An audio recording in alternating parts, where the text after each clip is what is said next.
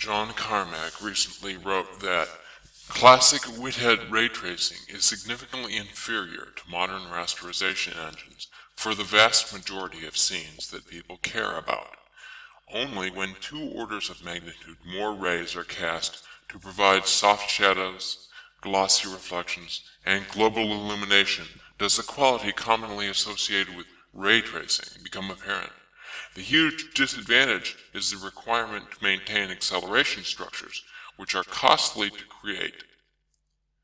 The vast majority of scenes that people care about means the occluding geometry impoverished, quote, photorealistic, unquote, trompe-l'oeil, effect-ridden first-person shooter scenes that Mr. Carmack cares about. But what is realism in real-time virtual world rendering? Which is more important, photo or cinematic realism or ecological realism? Once we ask this question, the answer is obvious. Ecological realism is more important. And by ecological realism is meant not simply things about gameplay, interaction with the world, physics simulation, uh, but something more basic, something on the level of vision itself.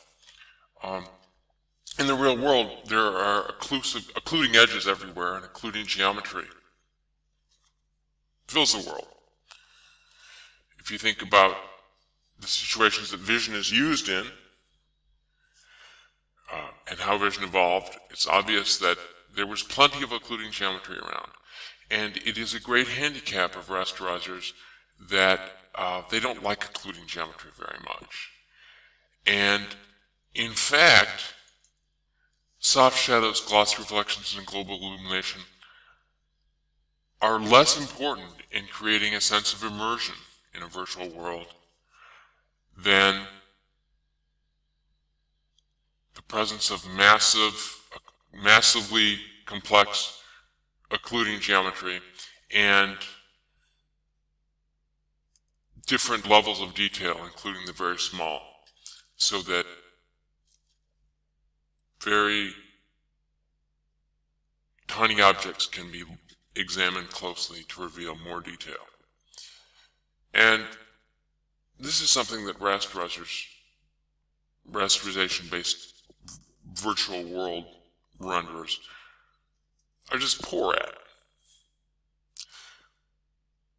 Whereas direct ray tracing approach without shooting extra rays, without glossy shadows, soft trace edges, um, Illuminati globalism. Without any of these things, a simple block or voxel based fractal voxel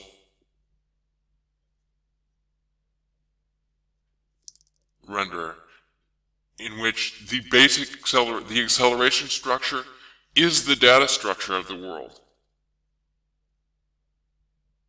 So you don't have objects being placed into an acceleration structure that changes all the time, but in fact the acceleration structure is the block structure of the world. This actually actually works. It works full screen on commodity i7, so it's four Intel, four cores, eight cores counting hyperthreading.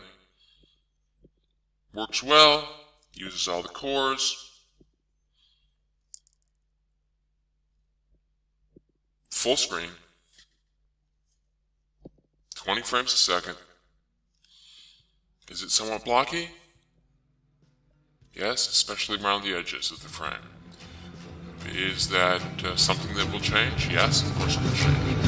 As, uh, Flown like a star in my life, sleep, I open my eyes to take a peek. To find that I was behind I was the the shadow of the one sleep, sleep, city under all shadow of the window pane. tranquility.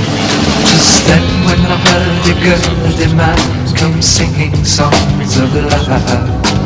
Then when I heard a girl man come singing songs of love. Heard a girl, girl, girl, girl, girl, hurdy-gurdy sound. Hurdy-gurdy, hurdy-gurdy, hurdy-gurdy.